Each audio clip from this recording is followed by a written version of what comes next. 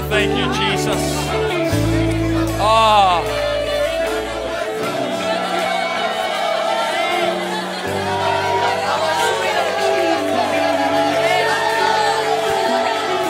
We worship you, God. We worship We lift up a sacrifice of praise. We worship We lift up holy hands and pure hearts unto heaven today. Yeah. Jesus. Jesus. Mighty God. Hallelujah, hallelujah, hallelujah. Thank you, mighty God. Praise God, praise God. Amen. When the Spirit descends, we recognize and make room for the Spirit of God. I just want the Spirit of God know, Lord, you are welcome in this place. Push back, push through our agenda protocols, and let us be led by the Spirit. If you're new here, maybe you're streaming online, the Spirit of God descended, and so we just stepped aside, lifted up our hands, and gave thanks. That's what spirit filled churches do. We crave for a move of God, we crave to hear from God. In fact, if God doesn't show up and descend, I drive home, I'm sorely disappointed. But I've yet to drive home on a Sunday and be disappointed because we're looking and expecting for the Spirit of God that can do more than a message, that can do more than our intellect. And so, church, we need God moving on our behalf. Praise God, praise God. Let's thank the Lord with an offering of praise. Praise God, praise God. Amen. If you're visiting here, I welcome you. God bless you for coming and worshiping with us in Old Town Temecula. Amen. If you're streaming online, I recognize you. Thank you for leveraging technology when you can't get here. And those of you that call this home, I say thank you for coming home on Sunday. We have a wonderful church family. I'm honored to serve God and lead God's people. And I just wake up on Sundays and think to myself, today I get to go to church. I get to go. And I'm honored to be here. Nolan's already mentioned it, but I give honor to his parents, brother and sister Graham, visiting from Southern Illinois. Amen. God bless you guys. Welcome to SoCal. Glad that you are here and your son is making an impact here. So, as a parent, be proud. When our kids serve God, when they're on their own and they can make their own choices and they choose that, it's a great feeling. When they make other choices, it's devastating. There's no guarantee. Huh? We do our best. We, we raise them in the admonition of God and we dedicate them. But at some point, they make decisions, and I pray that all of our kids make decisions that make us proud. And so that's a great life, and God will help us. Amen. While you're standing, Proverbs chapter 22 and verse 9. The New King James Version reads this way He who has a generous eye will be blessed. He who has a generous eye. Let me just pause. You're going to see whatever you're looking for. You're looking for negativism, you're going to find it. You're looking for carnality and meanness and darkness, you're going to find it. But today I kind of want to flip the coin over and say, how about we look for the goodness and the greatness and the generosity that God affords us? I'm going to preach to you, mention to you, giving reimagined, but let me just give you my subtitle here, which is Living a Life of Generosity. Lord Jesus, help me one more week to speak into the hearts of your people, to speak into our habits, our views, the cadence in which we live life, that it would honor you and that we'd be in harmony and undercovering, and you would pour out blessings and opportunities more than we can contain, as your scripture says. Allow us to be a candidate of that scripture living in Temecula. Give me words of wisdom, Lord, to bring knowledge and understanding and inspiration. I rebuke any distractions that the enemy would come into our mind and our midst, and that we would stand and sit in the Holy of Holies with respect and honor as you speak to your church. Help me do a good job. In Jesus' name, if you agree with me, would you shout back, Amen? Amen, amen. amen. God bless you for standing. You can be seated this morning. I realize that Jesus said it is more blessed to give than to receive. And if we're not careful at times, we can feel like I'm not giving of my money, I'm not giving of my time, I'm not going to give my resources, I'm not going to give anyone my talents. But in reality, when we do give, we are serving and glorifying God. I, I, pause for a minute to remind us that all good gifts come from God. So if there's anything good in your life, it came from God. You are stewarding the goodness.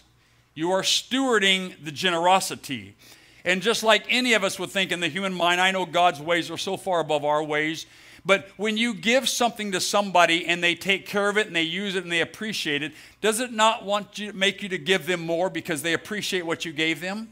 Conversely, if you give something to somebody or you give something or you give a hand-me-down and they don't use it, they don't care for it, they don't take care of it, they don't appreciate it, I think our natural tendency is, well, I don't think I'm going to give them something else again. I don't I'm not upset, but they weren't as much of a steward as I thought.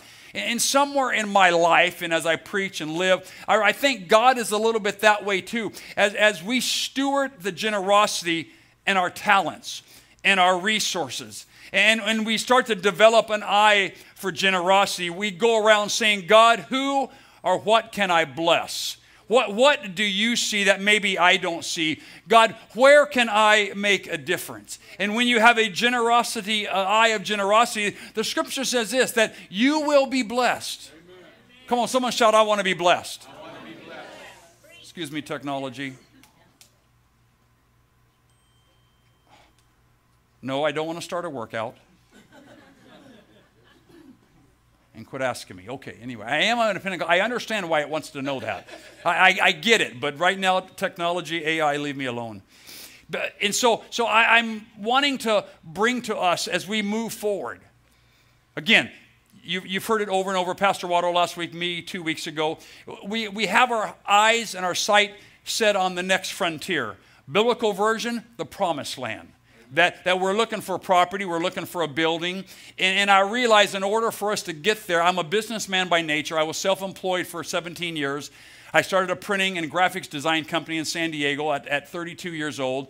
Walked away from that. So my natural tendency is, is to be on the business side. And I, I, get business and I get finances. But you know what? I also get the kingdom of God and the principles of the Word of God. So, so in, in me, I think you get the best of both worlds. I have faith, but I don't have reckless faith. I don't have faith that, okay, well, we're going to buy a $6 million building, and I just know by faith the checks, someone's going to deposit in our account. They're going to Zelle into our account or do a cashier check or a wire transfer straight to the bank so I don't have to worry about, it. no, that's reckless faith. Okay? So I have faith. that I don't have everything figured out. I don't know how it all going to come together.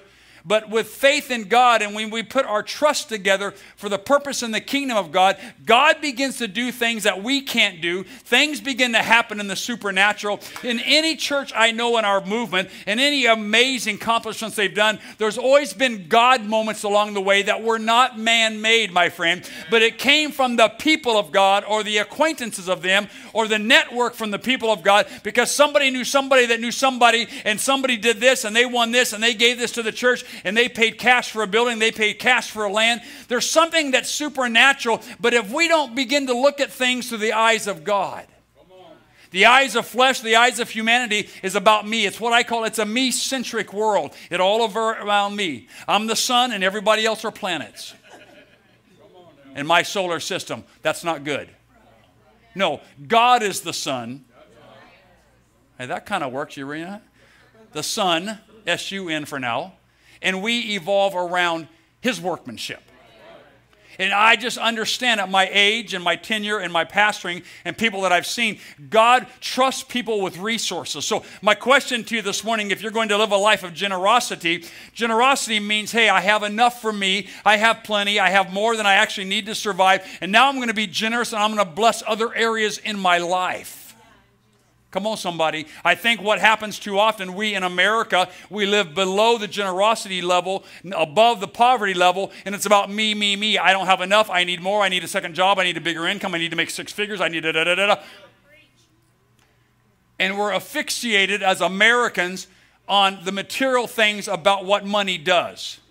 I wonder how many among us can start to get asphyxiated on the Word of God and the principles of God and say, God, I'm going to do my part. You can trust me. I'm a vessel of honor. I'm a conduit to put into your kingdom. You can bring more into my life. I will not hoard. I will live a great life, but I will not be selfish. I will not be stingy. Why? Because I'm looking to be generous in all that I do. Amen. Think with me for a moment. In, in just in your life, can you identify someone that's naturally generous? Now ask yourself the question how do you compare to them? Hmm. Did you think about yourself when you came up with the name? Or did you think about someone else? All I'm saying here that my friend, as we kind of kind of work into our, our about, about our giving and our giving reimagined, is think about things beyond where you live. Think about things beyond your need. I'm not saying neglect your needs. I'm not saying do all these things, but understand there is a balance. When I give to God first on my tithe and my offerings, well, then God begins to give me more resources, and my tithe and my offering is the first fruits, and I live on the second fruits. But the second fruits, when God touches it and blesses it, is greater than if I would have kept the first fruits. Are you with me? So, what's the big deal, Pastor? I'm telling you, I see the promised land. That's the big deal. And the promised land is greater than where we live right now. I'm not afraid to live, quote unquote, the proverbial Egypt. What is that to you, Pastor? That's a rented building. I'm not afraid to leave here. We've been on this property. December will be 24 years. Literally, I've been driving on this property for 24 years every week. And there's coming a day soon, saith God, that I'm going to drive on a different property to go to church, and it's going to start a whole other frontier and generation. Why? Because we understood stewardship, and us collectively together begin to steward our own resources. Watch me now, for the glory of God. The tendency is in the world is to steward my resources for the glory of Tom Durrance for the glory of my family. I want, want, want. I want, want, want. I want. That's, that's the American. That we, we wrestle against, I'm going to say, the demon of materialism because it's always get, get, get, more, more, more. I understand. I live in America. I'm an American. I grew up in this culture. But when I get into the Word of God, somebody, I realize that God's principles and God's promises aren't like the world. He begins to deviate from that mentality. He says, hey, if you'll bring first fruits to me, I will bless you more than you can even contain. I will open up the windows of heaven heaven. Why? Because you trust me with faith, and now I can trust you with more. Mm. My experience, my knowledge of pastoring people, that when God gives back to us, it doesn't necessarily mean He gives me money or money back to me. But when I am generous, He gives me back things that money can't buy. Not necessarily monetarily, but materially. What about health? What about relationships?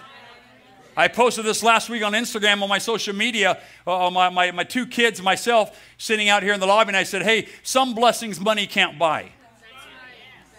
Good health, good relationships, a loving family, life is great. You know what? That comes from God. I don't know everybody, but I know a few that, that they're, they're estranged from their close family. I don't, that's unhealthy. They don't like that. I want God to bless it. But, but when, when I'm giving to God, God orchestrates my life and He brings blessings into my life. Now, there are people who could be rich, but you know what? They may not be blessed. Pastor Watto preached against that last week. You could be rich, you can make a lot of money, you could be evil, and you could be narcissistic, you could be an atheist. Rich isn't quarantined by nice people. A lot of rich people are narcissistic and evil and, and, and, conniving and cutting. But what if we could be blessed, come on, somebody, in the favor of God, where God blesses me in all areas of my life? I lay down at night, I'm at peace with the world, I'm at peace with my Maker, I'm at peace with God. As one song said, All is well with my soul. That's where I'm striving to live. You see, the older I get, I value quality of life. I value comfort. I value the minimum necessities, Brother Gustavo God, family, health. Now, I'm older than some of you, so that may not make sense. But everything else, Donnie, is a plus. It's another, oh, thank God. Thank you, Lord. I receive that. I receive that. but if I got to whittle it down to what makes me happy in life, my relationship with God, my family, and my health, and everything else is a plus from God. So if we're going to focus on quality of life, somewhere in my quality of life, I have to factor in that my relationship with God and my contribution to the kingdom is a part of quality life because quality of life comes from God. My talent, my treasure, my resources, my time Hello, somebody. We have work day this coming Saturday, 9 o'clock, 8 o'clock. What is it? We need help beautifying the temple of God. And someone may say, Well, I'm not crafty. I don't have any tools. You know what? We have 250 chairs out here that have four legs. We have a thousand legs that need to be dusted. Come on, somebody. Don't tell me there's not work to be done for God. Hey, this is Solomon's temple. This has got to be excellent on top, above board. Now, if you've got a skill set and a talent, bring that too. If you're kind of like me, I don't have much, well, bring a, bring a rag and some WD 40 or bring some 409 and say, Brother Tony, I'm here to polish and shine God's house. What do you want me to do? What are you doing? Now I'm giving my time. Quality of life. When I give to God, law of sowing and reaping, God gives back to me. I want to be generous. Hey, I'm coming down at 9 o'clock, Brother Tony. I'm not going to be late. I brought all my supplies. What do you want me to clean? What do you want me to shine? What do you want me to fix? What do you want me to hang? What do you want me? Hallelujah. Well, Pastor just preached on living a life of generosity. Yeah, I could be home kicking back doing nothing, but I'm going to be generous with my energy. Mm, somebody, come on. This would be a good time for someone to shout out, that's good preaching. That's good preaching. This would be a good time for someone to shout out, that's good preaching, and then them really mean it. Yeah, I got the three of you. Okay, I, I knew there was three of you out there. But here's the bottom line, okay? Let me, right here. The devil cannot stop the blessings of God. Oh, the devil's attacking me. Be careful. Don't give him too much credit. Now, I'm not naive to spiritual warfare. I'm, a, I'm an apostolic, spirit filled pastor. There are spiritual times, there are demonic forces, there are darkness that comes against, and then we say, In the name of Jesus, you shall be. We invoke the name of Jesus, but not everything is the devil working. And sometimes it's life. Watch this. And sometimes it's my bad decisions. Oh. Sometimes it's my inability to manage the resources, so God kind of stops it for a minute so I can get my head in the game. God's never going to bring you more that something that's going to destroy you. Oh, I became so rich and so wealthy, I made it in life, I don't need God. You know what? That's not from God. God's never going to bless you to where it pulls you away from Him.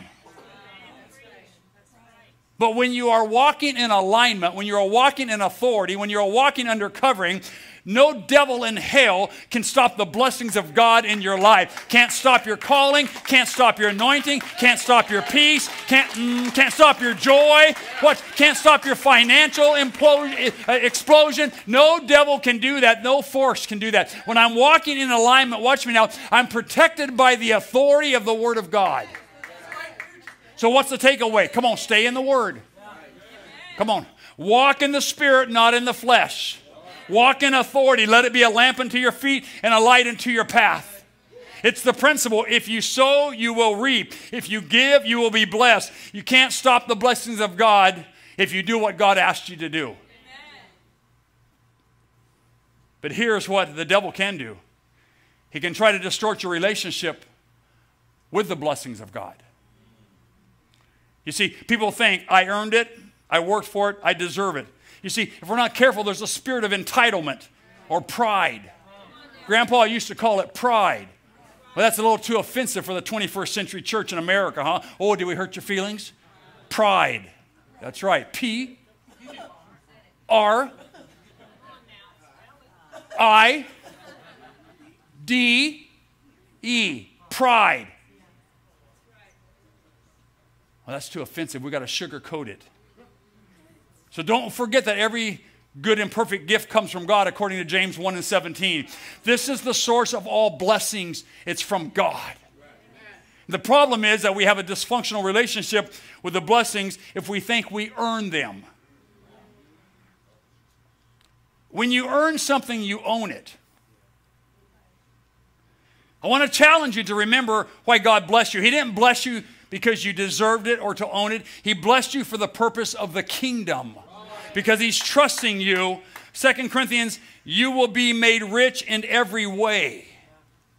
Hmm. I like that phrase.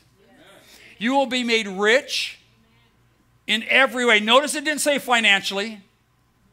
And if what you're pursuing is simply material blessings, you are undercutting the goodness of God. La bondad de Dios. You're undercutting the goodness of God. And we are taking every kind of relational intimacy and trusted and long term relationship and good health. To sum it up in one sentence, it's basically right here. Okay? Because God has blessed us with more, we will intentionally give more. Here's the law of sowing and reaping. Let me just break it down, okay? When I give more to God, God gives more to me. He replaces what I invest into His kingdom. If I'm investing little, little is being replaced. Pastor Waldo used a scripture last week that it's going to be given back to me measured in the same way I gave it. Am I a selfish or stingy giver? Then it's going to come back selfish and stingy. If I'm a liberal and generous giver, it's going to come back liberal and gener- with generosity. So, what my purpose of my message this morning here is to get us in the mindset of I want to be a generous person. Generous people give. They give of friendships. You ever have any people in your life and you go somewhere or you go to a party or you do a potluck and they're always bringing like the very little bitty stuff? Hey, why don't you bring dessert? Okay, and they bring a little snack pudding cup. 15 of us are going to supposed to eat out of the snack cup. Come on. I brought dessert. Yeah, but you, we're not inviting you next time. Come on, use common sense. Hey, I'll bring all the chips, and you bring a little lunch bag of chips, party of 40 people. What are we supposed to do? Find the scripture and ask God to multiply it like the fishes? Lord, multiply these Doritos in the name of Jesus. Didn't work, man. You better go get some more Doritos or you're not coming back anymore. Or you go out with someone and they never offer to pay their own and never offer to pay. Oh, let me get this. The ticket comes, the bill comes, and you know, oh my goodness. When I, we were going to lunch, I didn't know I was paying for four people. I'm talking about generosity. I'm talking about blessing others. Why? Because I've been blessed. I understand there's a balance, but if we're all working to the tone, the tune of generosity, no, nobody's going to be ungenerous. But it all starts with your relationship and your giving to God. Again, talent, time, treasure. You're, you're talented. What are you doing with your time? Well, I'm making 150,000 a year. And what do you, how does the kingdom win? I give my tithe and offerings. Okay, starting point. Square one. How about this? First grade. No, excuse me, preschool. But, when we have a heart for the kingdom, you see, when, when you have things that you love and it's your passion and it's your hobby, you don't think nothing about spending and going and doing. You could have a hobby of hiking. Okay, I personally don't. My wife's not allowed to anymore. Even if she did have one, I would I rebuke that desire in the name of Jesus. You stay home. Those of you that don't know, we're in Brazil in March in Rio de Janeiro. Woo-hoo. And she rolls down the trail and sprains both ankles. So we're experiencing the Brazilian Medical Center at the hospital, which is a little different than ours. So we just have a family agreement that she can't hike. She can barely talk now, but she's getting better. We praise God for that. But, but when you're into something, whether it be whatever, hiking, kayaking, cycling, you, eh, whatever gear you need, you go get the best gear because, hey, this is good. And, and you spend money on the best gear and you practice or you go to the tournaments or you do whatever you do. Why? Because you're into it and you don't think twice and try to negotiate down at Dick's Sporting because, hey, you know what? Will you take 79 bucks for this? Because 99 you're overpriced. We just pay the bill and walk out and we're happy we got a brand new item that's up to date. But why, when we come to God, we feel like we want to negotiate, hello, somebody, on our consistency when God is not negotiating the bare minimum? I mean, think about your favorite restaurant. What's a pop one off? Tell me.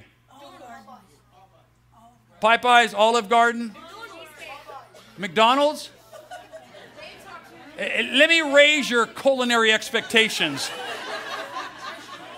I'm thinking, I don't know, Outback, Longhorns, Ruth's Chris, Cane's. Okay, okay, all right, I get it. All right, listen to me, listen to me, okay? Let me show you something. Probably Blue Water Grill, there we go. Come on. What's that? BJ six. Okay, all right, I'm good. I'm good. I got enough. I got enough. I got enough for my point. You can start yell, stop yelling at me. Okay, but when we go into these places that we enjoy, do you negotiate? Hey, here's the bill. We pay the bill and we tip the man or the server and we go out and we drop 50, 60 bucks. We go home and have a good night, a good day. But when we come to the house of God, do you find yourself being a little less generous? When whatever we enjoy, we find a way to bankroll it. How about we start enjoying the things of God? So God can replenish and give more than what I gave back to God because I have an understanding of the principle of sowing and reaping. And if we're going to get, I'm going to say to the next frontier, we're going to all have to understand that all things belong to God. God's letting us steward. He said we're a resource for Him. And so I'm going to be faithful and generous, and I'm going to give God back what is God's. And at times I'm going to give more. Mm, come on, somebody. Is this okay? You see, people are intentional consumers. How about we flip the coin and say, I'm an intentional giver? We, get a raise, and for most of us, we think, hey, what can I buy? You pay off a car, you say, oh, I, ha- I have an extra $410 a month. I should buy a boat. Consumer, consumer. Hey, hey, we, we should do a $9,000 trip to Europe for three weeks. I, I don't have to make a, a car payment anymore. And, and I believe the heartbeat of God is saying, hey, I've blessed you. You've paid off, you're getting debt free. But we think that that, that we want to be a consumer and buy more. Can I just say, hey, folks, let's, let's, let's commit to God. We're getting on board because we're not going to stay in this rented facility. I'm not going to be driving in here another 24 years on this parking lot. I hope in the next couple years I'm driving into another parking lot because God's making a way and doing things behind the scenes that maybe we know not of. But when God opens that door to the promised land, I've got to be ready that we are all on board, our talent, our time, our treasure, and the bank signs off on it, approves it, funds the loan, and we're in the promised land. What would be a wise student that would not think of counting the cost before you get here? You see, when something materializes on the MLS for our land or our building and, and we, something goes into escrow, I can't come back and teach and train and, and, and hey, this is what we got to do. My, my friend, it's too late. Because they give you 60, 90, 120 days to perform and to teach everybody and to get us all on board. I can't do it in three months. We're not buying nothing tomorrow. We're not closing escrow July 11th. But I, am preaching vision. I'm preaching, come on, folks, let's get ready. Come on, folks, let's realign. Come on, folks, let's hit, let's hit the reset. Come on, folks, let's get out the binoculars. Let's focus in and, and, and, let's get ready because God is opening doors. I already feel it in the spirit. God is opening doors that we don't even know that exist. And when that door opens, we got to be ready to walk through. And I have an obligation to get the church ready that we walk through as a church. Come on now. Children of Israel leave Egypt. Moses gets the word around. So, somewhere in the context of the communication is we're leaving on this day. But I understand Moses didn't start telling the people the day we're leaving, hey, guess what? I forgot to tell you we're leaving at 1 o'clock. No, there was conversation and preparation leading up to that. Hey, here's what the Lord showed me. Here's what God proved to me. And they're communicating and they're getting ready. So when then that day uh, came, the children of Israel and their strategic plan began to march them out of Egypt. And of course, we know they made bad decisions, had bad attitudes. They meandered for 40 years in the wilderness. That wasn't the will of God. Their attitudes messed it up. Yeah, you're out of Egypt, but your attitude stinks. No stinky attitudes in the promised land. No critical spirits in the promised land. So they wandered and circled and wandered and circled and wandered and circled needlessly. But go back to the original point. They got to exit at some point. What does that have to do with us? Well, this is what it has to do with us, my friend. You know what? We got to get off this rented property. And it's going to take all of us. It's going to take commitment. There are three types of givers. Let me show you this. There are spontaneous givers, which those are givers who give to an event, a project, or a cause. We're in the giving of Mother's Memorial right now. You gave to Mother's Memorial. Last November, we gave $14,000 to the new flooring. Thank God, I love it. It looks nice. Thank you, everybody. Spontaneous. Hey, here's an opportunity. Here's a need. Here's a situation. I'll give. And then there are what I would call strategic givers, which, hey, I'm giving my tithe and my offering. That's strategic. I strategically do that every time I have an increase. And I'm faithful to God, and God's faithful to me. And then the last one I showed on the screen there is sacrificial giving. And these are those who recognize that what we have in this world is not simply ours, it's for the kingdom. You see, what I believe is you can be wealthy and be sacrificial.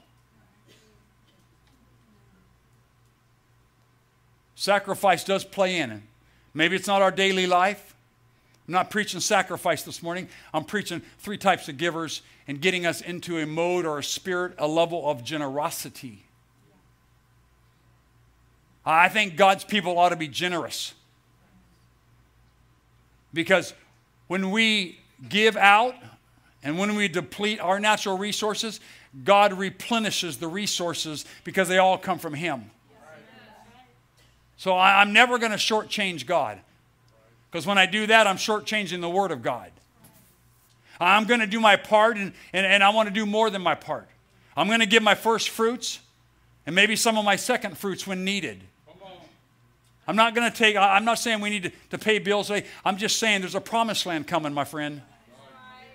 And we maybe the, we're in the proverbial Egypt and we're just going around talking shop. Hey, hey there's going to come a day we're going to get out of here. We're not going to be slaves. We're not going to be pounding no more sand. We're not going to be stacking no more bricks. We're going to get out of this rat hole. One day I know God's going to lead us out. And we're just talking shop as we're pounding the, yeah, I'll be glad when I get out like this full Pharaoh. If I had this, I'd hit him in the head with it. But I'm hitting these bricks. Yeah, bless God. How much long? I don't know. But we're going to get out of here. Don't lose hope. So they go back to their tent. They go back to their home. Hey, honey, this isn't going to be forever. What are you talking about? I just know there's, there's talk going around at work that we're going to get out of here. We're not going to always be slaves. We're not going to be abused. They're, they're not going to mess with us. God's making a way where there seemeth to be no way. And there's going to come a time that we're going to say, okay, hey, everybody line up. We're leaving on this day. That's what happened back then. So what are you doing, Pastor? This is what I'm doing. Come on, let's get faithful. If you're not faithful, get faithful. If you're faithful, stay faithful. If you're faithful, be strategic and sacrificial and spontaneous. Do what God's called you to do so He can pour more into the body of Christ so we can get to the promised land quicker than if we were trucking on our own. We don't have the resources to man make the promised land. It's got to be a God thing. God opens doors and shows things to us. If we pulled all of our money together, we don't have enough. So that's where the, the supernatural picks up. But watch me now, okay? The supernatural doesn't replace what we're supposed to do. If the supernatural did that, then God don't need people. There's no, there's no people involved. Everything's a miraculous miracle. I've lived 64 years. I've never seen that. It's always God partnering with the body of Christ. It's me and us doing our part, teaching and training and understanding and doing what I'm supposed to do. And then God makes a way. God lines things up. God puts an ad. God gives a text. God gives a communication. And things begin to materialize fast when God gets involved. I mean, it's not inconceivable that we're having church here this morning, Damien, and we're not here in August. Wow, that was fast after 24 years. Hey, God did something I didn't see coming. But you know what? When God did it, we were ready. I didn't have to get my house in order, so to speak. I didn't have to get my finances in order. We're just marching time. What are you doing? I'm waiting on God. I'm having church. I'm having good church. I'm preaching good messages. I'm bringing faith. I'm smiling all the way to the promised land. You're still in Egypt. Yeah, there's coming a day, my friend. Don't discount that because God said this I will and be able to do this. Come on, look at it through the eyes of faith. I don't need any naysayers, I need some faith believers in the house. Woo! Oh, ooh, I gotta hurry. I gotta hurry. Let me, let me show you this, okay? Keyboardist, you can come. I did make the mention, let me repeat myself. You can be wealthy and, sacri- and sacrifice and be sacrificial. Instead of sacrificing one bull when it came to the anointing to be the king, Solomon gave a thousand bulls. Requirement one bull. A thousand. When he had the chance to offer some oxen at a sacrifice, David said, I will not sacrifice anything that didn't cost me something.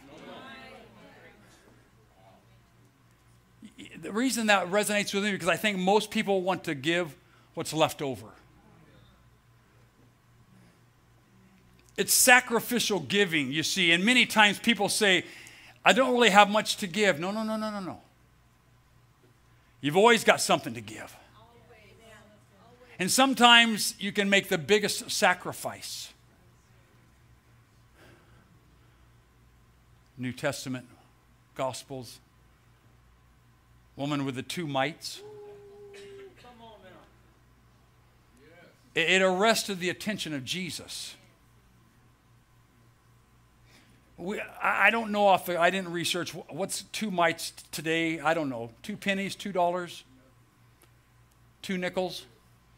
The point is, whatever it was, it was very little compared to what everybody else was doing. And Jesus, hey, hey, hey, hey. Did you see that? Let, let me see what she dropped in there. Move that $1,000 check. Move that 5,000 cash. Move that 500 bucks. Hey, where these pennies come from? You see, so all I'm saying is it's not the amount. Sacrifice is not defined by amount. If it were, some people couldn't sacrifice. Sacrifice is universal. I don't have much, so I can't give nothing. Whoa, whoa, whoa. Don't rob yourself out of the blessing of God. Don't, don't get that, whoa, I'm poor mentality. No, and let me tell you something, my friend. L- listen to me. God's people are not poor. God's people are not busted broke. When you measure the totality of life, one piece in the thousand jigsaw puzzle is money. Let's judge the other 999. Come on, blessed people of God. Isaiah 32 and 8 says, Be generous, people. Plan to do what is generous, and they stand firm in their generosity. Generous people plan to be generous. here's this, okay, I'll close. You might say, Pastor, why have you spent so much time talking about this?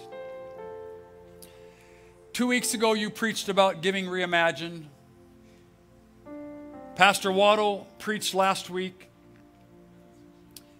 And now here you are again. Yeah, you're right. I'm not apologizing for that. I don't want to be disrespectful and rude, but yeah, this was intentional. It's because I really believe God would not have sent so many people into our church and our network and our influence and ministry for us just to enjoy what we have. I don't believe, I don't subscribe to that. I really believe it's a tremendous responsibility. Here's how I hope we give I hope we give spontaneously. I hope we give strategically. I hope we give sacrificially. And just like you strategize to get what you want, we strategize to what we give.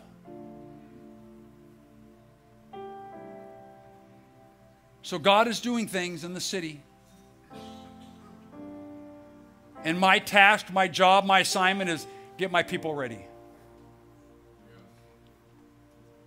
He didn't give me the time. I don't know the location, land, building. But we got to get ready. And we're going to give only like only blessed people can give. I want to commit to God. Step one, my tithe and my offerings. That's the income of the church. We have no other income. We have no warehouse. We don't sell nothing. There's no price to discount. There's no BOGOs.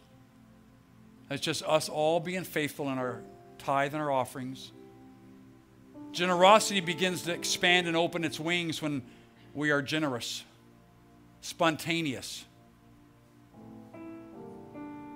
sacrificial. throughout the Word of God and the great exploits of the men and women of God in the Bible, they've, they've all done things spontaneously, they've all committed, they've all been sacrificial. And I don't think the Word of God is going to change in the 21st century, or it wouldn't be constant. One writer said, Heaven and earth shall pass away, but my word, no. It's been here for generations and years. And people are still living by it and proving that God is true. God honors. And so this morning, my assignment is simply to just get us ready. That you go home and think, hey, I, my starting point is tithing offerings. I don't know of a need, but if something pops up, I'm willing to give sacrificial. I'm willing to give to Mother's Memorial. That's on and above. We're in the midst of that. Maybe something else comes up. So I, I know the kids just came back from camp, junior camp and senior camp. I know of a couple of people that anonymously funded some kids to go. Generosity. They don't even have any kids living at home. Hey, I want to pay for a kid. Who told them to do that? Their heart. Hey, I'm blessed. I want to bless somebody generosity. But let me just say this and I'll, I'll, I'll, I'll close. If you're always giving to get and keeping score, you're going to lose. Because in your own human ledger, God's never going to measure up. Every year, we give you an itemized statement on the app. You can check your giving right now. Hey, whatever. We're into June. I've gave God $7,000. He didn't give me nothing. You better be careful. How many accidents did he save you from? How many cars could have rear ended you on the freeway that you know not of? How many times did you not get sick and have to take your little boy to pediatrics?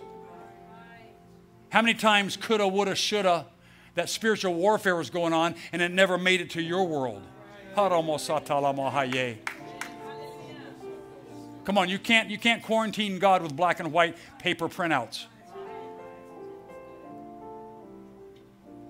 How many times were you talked about in the executive boardroom that you're, we got to do some layoffs and your name was on the list, but the information never made it to you and you're still working? Oh, Pastor, you're just making that up. No, my faith goes there.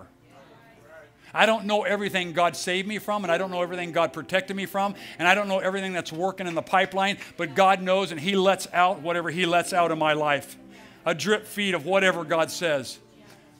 But there's probably a whole vat above that that God said, no, that will never make it to him. No, that, that's never going to make it. It's a 10 gallon vat above and a little drip feed, don't eat, just dripping into my life of goodness. I protected them. I answered their prayer. I saved their little girl. Saved her from what? Nothing happened. That's because I never let it come to earth. That's why you think nothing happened. It happened in the spiritual world. It happened in the spiritual realm. Don't tell me nothing happened. Oh, sorry, God. You see, uh, I didn't see it. That's the problem. Don't judge me by your eyes. And so, we live in a blessed life. Stand with me this morning, my friends. God bless you. Jesus. I'm feeling good. I'm feeling encouraged. God is pleased. But let's all do our part, okay? Let's all do our part. And together, we can accomplish more than what partial contribution could accomplish. Ah. Whew. Let me pray for us. As I pray, if you have a need in your life, please come. Pastor Olstoff, bring oil. Maybe your need has nothing to do with finances or faithfulness. This is church. We pray for needs. We're not so restricted we can't pray for anything beyond tithe and offerings. We're not so restricted we can't pray for anything beyond the future. You just come on down whenever you want and let us anoint you. Heavenly Father, we thank you for today. I pray that the Word of God would not return void. That, Lord, we would steward the resources and the blessings, and a spirit of generosity will be laid on top of this church. Lord, as we walk in alignment looking for the promised land, we're just talking in the shop right now, but there's going to come a time we leave in Egypt. There's going to come a time we're going to build in the promised land, but God, we're just talking in the workforce right now. We're getting ready. We're lining up. We're making some adjustments. We're cutting some things out. We're doing what you called us to do, and we will do this with faith and boldness. And I bless every hearer today, everyone that's streaming in the Spirit. I bless them as they watch this service. God, go from Old Town to Temecula into every situation. I command it and release it in the name of Jesus. We do these things. My friend, come if you want to be prayed for.